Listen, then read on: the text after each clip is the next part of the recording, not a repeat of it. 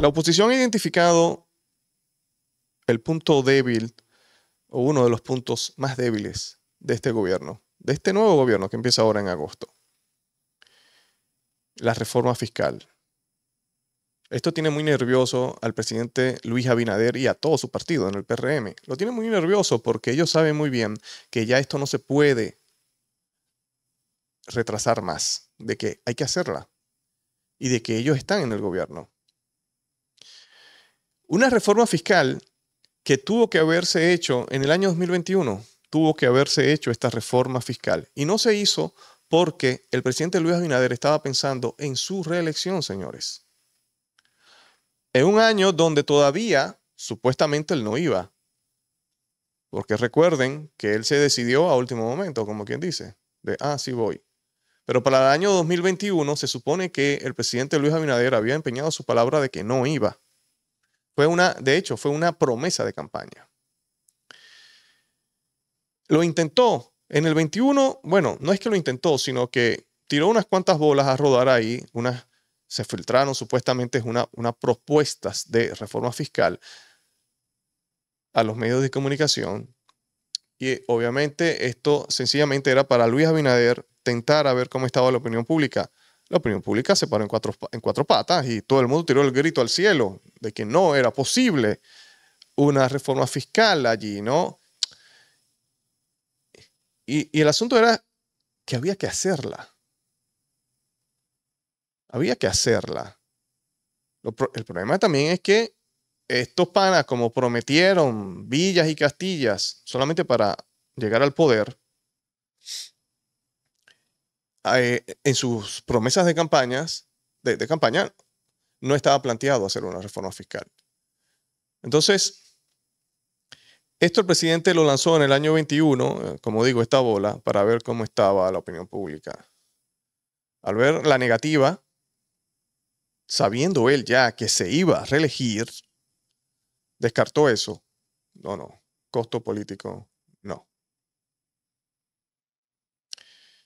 Y eso ha llegado a una acumulación donde actualmente se necesita recaudar más de, escuchen la cifra, 230 mil millones de pesos. Algo que supera el presupuesto de educación. Imagínense ustedes. Y que dobla, duplica así lo, la, la cifra aceptable dentro de la región. Es decir,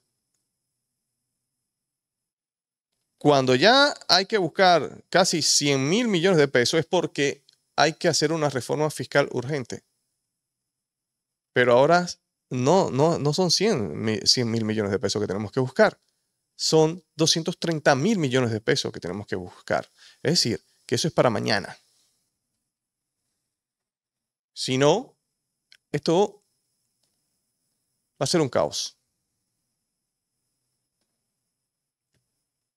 Y estamos contra la espada de la pared. Entonces, la posición de la oposición en cuanto a esto es, no, ustedes administraron cuatro años mal este país, no hicieron las reformas que tenían que hacer, pensando en la reelección de el presidente Luis Abinader, no hicieron los recortes que tenían que hacer, pensando en el costo político que eso le iba a acarrear a Luis Abinader. Y ahora ustedes quieren entonces que nosotros nos sentamos en, la mesa de diálogo con ustedes para llevarle y ayudarle a solucionar el problema. La oposición dice, no, y uno se puede hacer eh, fácilmente eco de eso, porque, oye, tienes razón, es verdad. Ellos no, no se sentaron con nadie en estos últimos cuatro años, ellos no pidieron la aprobación de nadie para estar pidiendo esos festines de préstamos. Muy bien. Ahora, vamos a mente fría. ¿A qué está apostando la oposición? La oposición está apostando, señores, a que este gobierno sea un desastre, con el único objetivo de ellos poder tener posibilidades claras de volver al poder nuevamente en el año 28. Y cuando hablo de la oposición, lamentablemente, aparentemente aquí la Fuerza del Pueblo es la que se está perfilando como el partido que va a seguir siendo el partido de oposición de aquí al 28. Lo del PLD yo lo veo en una clara, un claro camino a la extinción. Por más esfuerzo que quieran hacer de renovación, ahí no hay nadie. Ahí ya no hay nadie que pueda levantar cabeza por ese partido. Entonces, se está apostando a eso. Por eso Radamés Jiménez lo dice con un entusiasmo. No, nosotros no nos vamos a sentar con ellos, yo, que resuelvan su lío. Apostando al estallido social para ponerse ello. Ahora yo les voy a decir una cosa. Supongamos, el gobierno se vuelve un desastre, como parece todo indicar. Llega la fuerza del pueblo en el año 28. ¿Y ustedes creen qué va a pasar? Van a bajar, van a, bajar los impuestos que, que, subió este gobierno, el PRM. No lo van a hacer. No lo van a hacer. El objetivo es llegar al poder. Ahora, ¿qué pasa en ese camino? ¿Quiénes son los que sufren? No, no son ellos la fuerza del pueblo los que van a sufrir el estallido social, porque esa gente tiene mucho dinero ha acumulado mucho dinero para invierno. 20 años en el poder. Se pueden dar el lujo de ver desde sus torres el país cogiendo llamas y ellos frotándose las manos porque saben que en el 28 entonces tienen la posibilidad de llegar al poder, capitalizar ese desastre de la tragedia ajena a favor de ellos. Ese es el único objetivo que ellos tienen. Es decir, nosotros como ciudadanos debemos exigirle a esa oposición que quiere ser poder en el 28, señores, hagan propuestas de esa reforma fiscal que es inevitable, hagan la mejor propuesta que tengan y enséñanla. Tienen que hacerlo es su responsabilidad.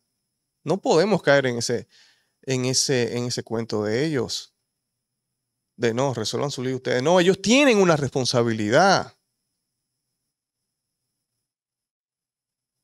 Y además, no tienen culpa ellos de que el PRM fuese gobierno. También, ellos tienen culpa. Ellos tienen culpa se estaban secuestrando el país por pedacitos en el año 2016-2020. Por eso perdieron. Por eso llegó el PRM a hacer exactamente lo mismo. Ellos son corresponsables. Entonces, vamos a ver. No podemos dejar que la oposición se siente a dejar que estos tipos hagan la reforma que ellos entiendan. No, ellos tienen que sentarse ahí. Por eso yo critiqué cuando el presidente, el expresidente Fernández, no fue a la reunión con Abinader. Amigo, usted ya es el líder de la oposición. Siéntese con el poder ahí. Y diga, a ver, señor Abinader, ¿qué tiene que decir? ¿Qué tiene? que ¿En qué le puedo ayudar? Vamos a ver. Es el mejor momento que la oposición tiene para dejar en evidencia la ineptitud de un gobierno. Porque los pobres no van a, poder aguantar esos cuatro años. Ustedes sí tienen dinero para aguantarlos, pero nosotros no. Es responsabilidad de estos partidos políticos sentarse ahí. Si es verdad que le interesa el bienestar colectivo del pueblo dominicano y no solamente que están viendo y apostando a que esto sea un infierno. Para ellos decir, ah, se lo dije, ahora sí, ahora llegamos nosotros al poder. Total, ¿para hacer qué? Lo mismo.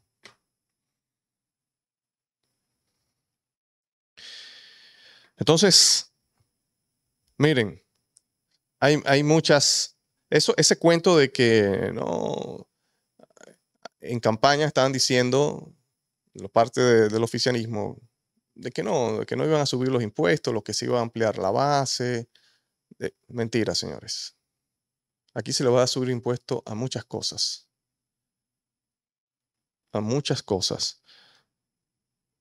Ustedes recordarán que en el año 21, una de, de las propuestas era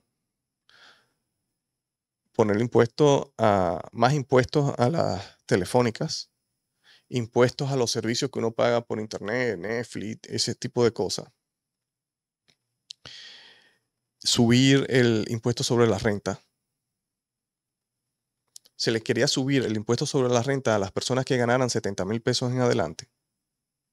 Se le quería subir, ¿saben cuánto? A un 35% de impuestos sobre la renta. A quien gana 70 mil, 72 mil pesos en, mensuales en adelante, que para la clase media eso es el dinero para sobrevivir. Una clase media que gane en suma con el multiempleo 70, 80 mil pesos. Ese tipo de cosas es lo que viene ahora. Van a subir los marbetes de los vehículos. La clase media, la que mayormente tiene vehículos, a subir los marbetes también.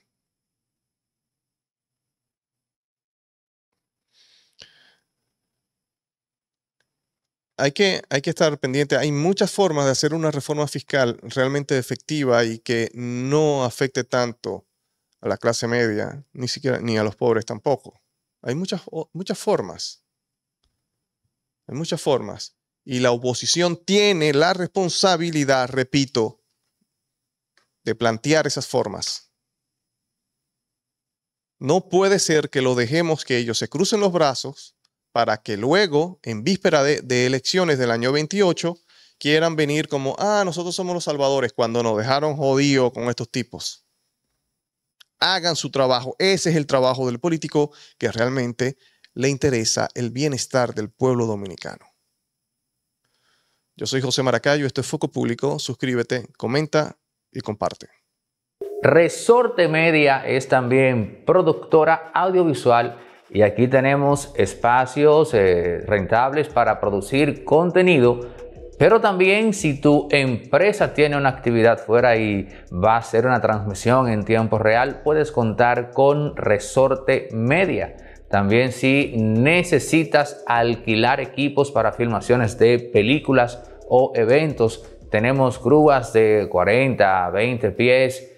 En fin, otra cosa, artista independiente que tiene que hacer un videoclip en calidad 8K, 6K eh, con imágenes eh, de stock. Bueno, pues lo podemos hacer acá en circuito cerrado con los presupuestos más competitivos. Pero si también eh, requieres asesoría para la producción de contenidos en plataformas como YouTube, también puedes contar con nosotros. Resorte Media, todo lo que necesitas en todos los ámbitos cuando se trata de producción audiovisual. 829-741-3061.